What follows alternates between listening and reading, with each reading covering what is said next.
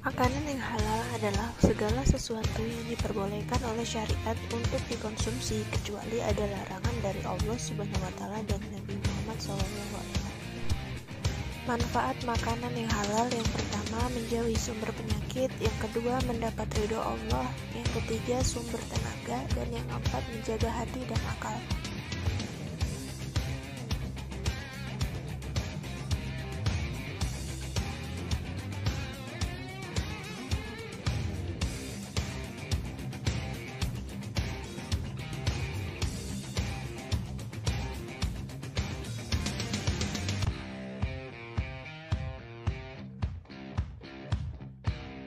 Makanan yang haram adalah segala sesuatu yang dilarang oleh syariat untuk dikonsumsi, dan apabila telah dikonsumsi akan mendapatkan dosa kecuali dalam keadaan terpaksa, serta banyak sekali mudarat pada hikmahnya.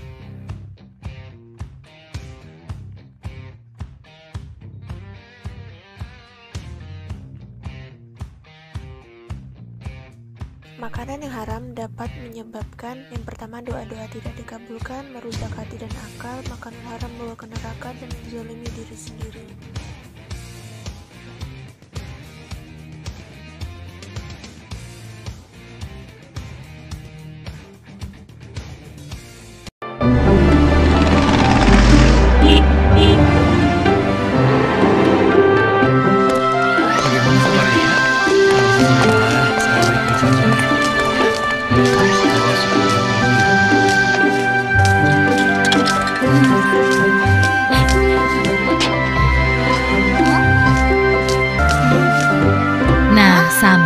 Di sini tempatnya, Nak. Bu, memangnya ibu di sini mau membeli apa? Oh, ibu ingin membeli makanan cepat saji, beberapa bumbu masak, sayur, hmm. dan juga buah pir hijau kesukaan kamu, Samil. Kalau begitu, sambil bantu memilih ya, Bu.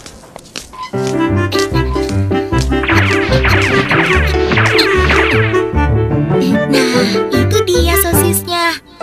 Samil, makanan apa saja yang kamu ambil, nak? Ah, ini, Bu. Hah?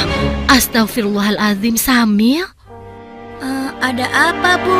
Kenapa Ibu beristighfar? Makanan yang Samil pilih salah ya, Bu?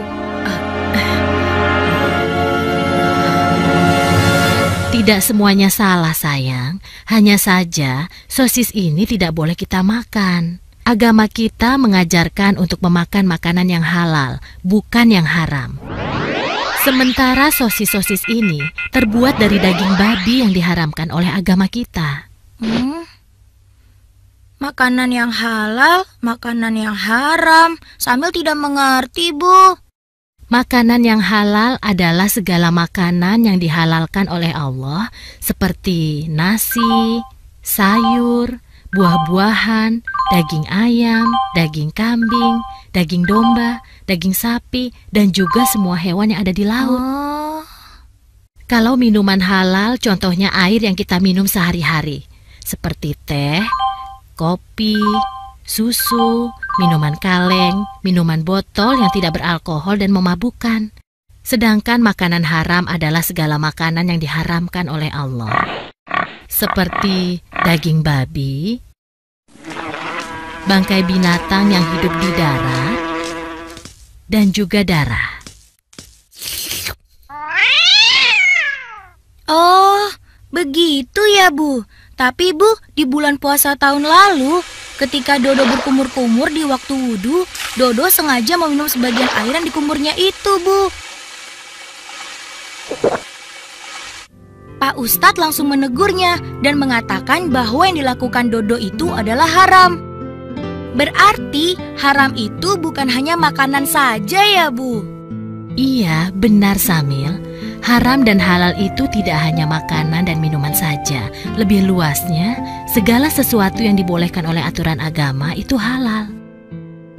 Sementara segala sesuatu yang dilarang oleh aturan agama itu haram. Misalnya mencuri, menipu, Hehehe, dia tidak tahu kalau buahnya kutukar dengan yang busuk.